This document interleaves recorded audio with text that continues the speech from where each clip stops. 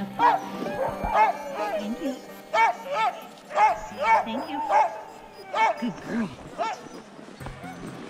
Okay. So either for So Boone like or. Yep. Okay, baby. Are you ready? Oh, let's see. Let's do it this way. This is what you're used to, huh? Yes, you're a good baby.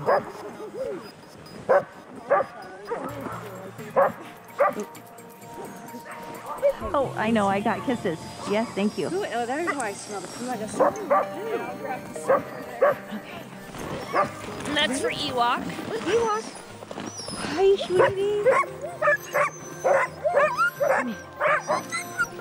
Ewok, hey, be good.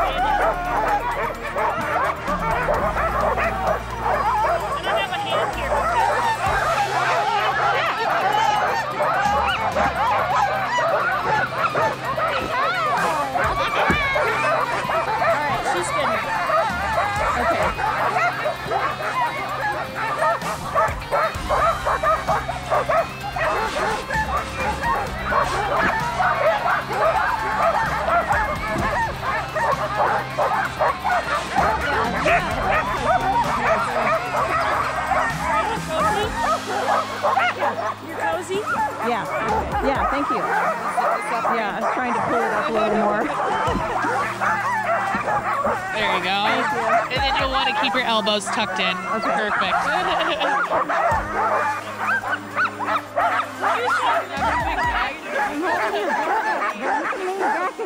Okay. But I was trying to help you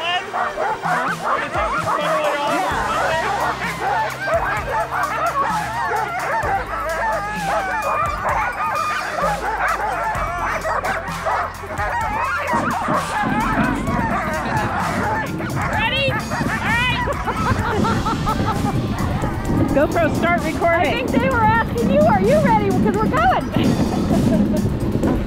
Hold on. GoPro, start recording.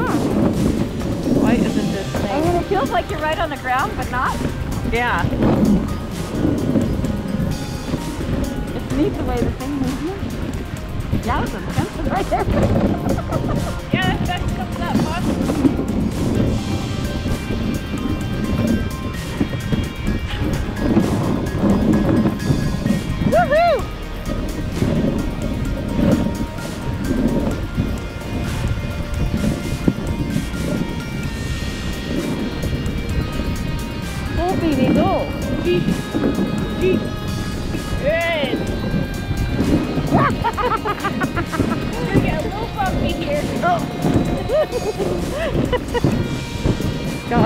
Sunrise.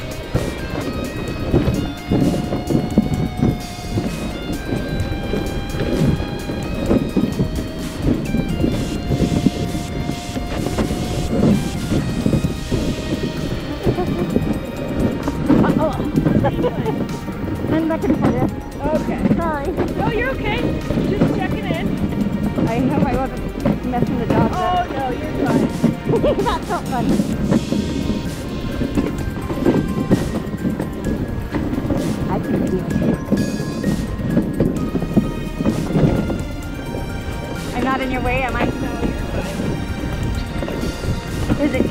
Oh, somebody went poo. Yeah.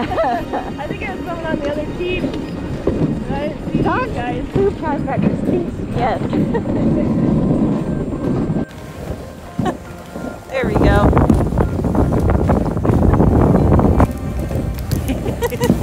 My hat's all dripping.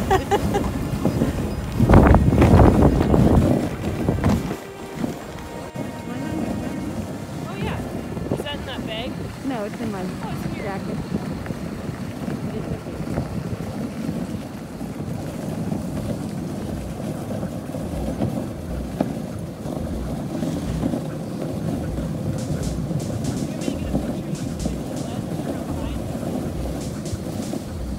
It's still recording. Yeah.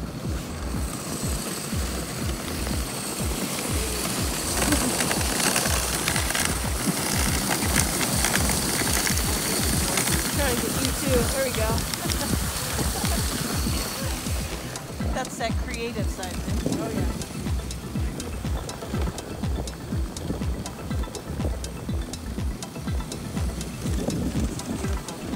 Mm-hmm. Thank you. I just like them. Yeah.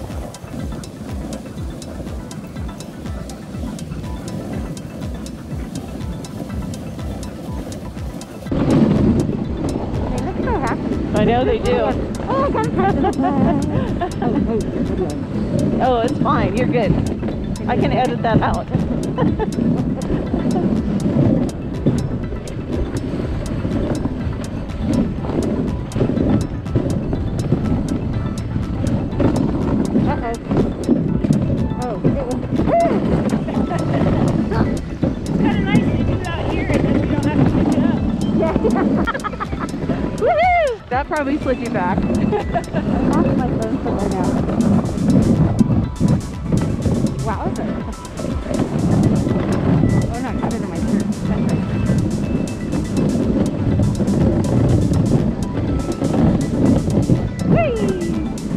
I'm sorry, I'm terrible. So, where have you lived up here all your life? No, I actually grew up in Minnesota. Um, this is my first season up here running sled dogs, but I've been running sled dogs the last four winters in northern Minnesota, which is actually, most people don't know, uh, the largest sled dog, uh, like kind of concentration of sled dog kennels in the lower 48. So I ran a kennel of Siberians actually down there. Um, uh, watch your faces for some of these brands.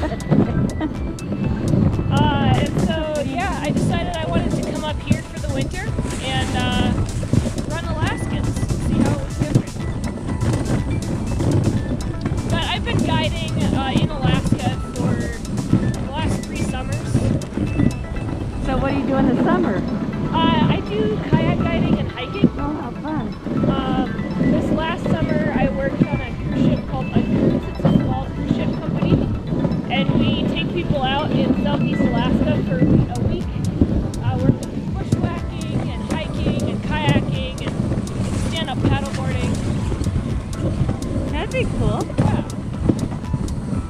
Different paths. So if we're doing the same route day after day, we're doing our longer runs, um, like, well, for instance, we've been doing 50 mile runs, and so that kind of ends up being we do the same route, because otherwise we have to do tiny tweaks to add up to 50 miles.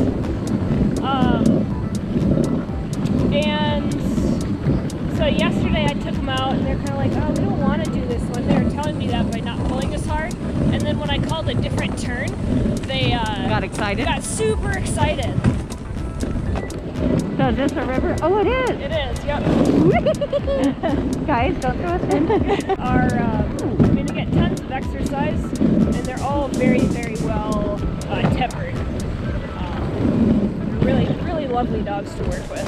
So, how many do they get fed in the morning and at night? Oh, oh, Jana, come. Whoa. What was your question? Do they get fed in the morning and at night? Yeah. Um, so in the morning we give them kind of like a meat soup, where we have raw meat uh, and water, and sometimes kibble as well, depends. Um, and then in the evenings we give them uh, kibble with uh, some probiotics. And each kennel does a little bit differently. The kennel I worked at the last four years, we fed them kibble morning and night. Um, here we just them you know, the same amount of kibble, but all at once. And then when we're out on really long runs, we have uh, kind of, they're kind of like frozen hamburger patties almost that we give them as a snack. Oh, good. That's good. Yeah. Some people do uh, like frozen fish as a snack. It just kind of depends on what you have available. Uh, and as we start doing longer miles, more miles, and the uh, long distance races, they'll start, we'll just amp up their food a bit to keep their weight down. And as it gets, as it gets yeah, that's a, a big different from the kennel I was working at with all Siberians. We couldn't really let them loose. Uh-huh. Uh, whereas here, most of these dogs, you just let them run loose and they'll come right back. Just gotta mill around a bit, it's very, very nice. Like to switch it up so that they can kind of get used to running next to different types of dogs. 'Cause some dogs have really weird habits. Uh, I didn't put him on this team, but there's one dog named Crunch. He he's the happiest dog you'll ever meet. He doesn't really have much going on in his brain. uh, so he has some weird habits. Like he'll try to drag the team off into a really deep snowbank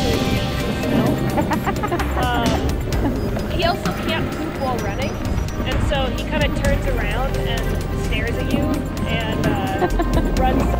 It's funny the difference in stature between the two. Yeah, between Badger Yeah. and Amelia. Badger's one of the bigger dogs in the kennel. Big boy.